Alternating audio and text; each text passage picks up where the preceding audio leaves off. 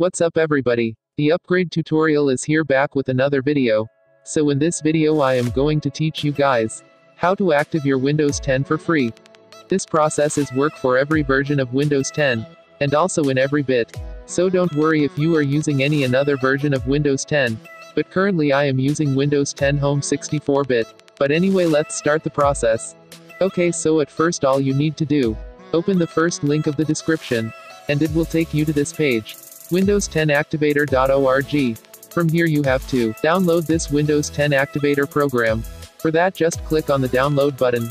And it will start downloading but in a zip file. So for open the zip file you need to download and another program.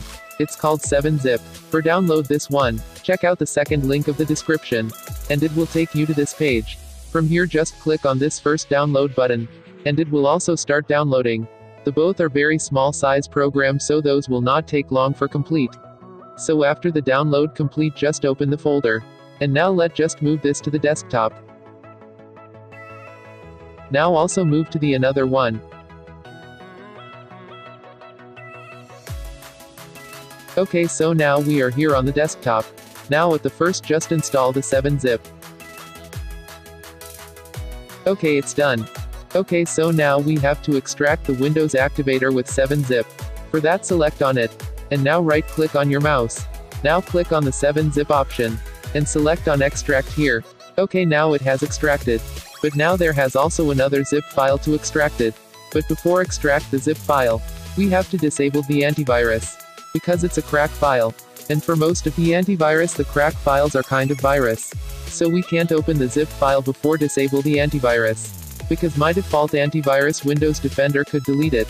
Because obviously Microsoft don't support it. It's a kind of stealing money from the Bill Gates pocket. But Bill Gates is very rich. So if the thousands of people will do this Bill Gates don't have the ability to realize. So let's turn of our antivirus. The default Windows antivirus is the Windows Defender for Windows 10. And for other versions it's the Microsoft Security Essentials. The name is different but those works absolutely same. Okay so for turn it off. Go to settings. Now update and security. Now click on Windows Defender. And turn off the real-time protection. And that's it. You could get some notifications after doing this. But just ignore those all for some times. And oh, if you was using any other antivirus, then just go to setting and turn of the protection. Or the real-time protection. Okay so now let's extract the zip. But before extract the zip you need to copy the zip password. Rather you can't open the zip. So let's copy it from here. And now let's extract the zip file within same way. Okay here you just paste the password with Ctrl plus V. Or with your mouse click. Okay so yay, we finally reach the program. So now let's just install it. Just double click on it. And now click on install GVLK. Also click on Windows key. And wait for complete. And it's completed. So now click on the active Windows button. And it's processing. And now complete. And you can also see. The active Windows watermark has also gone. So that's mean we have activate our Windows 10.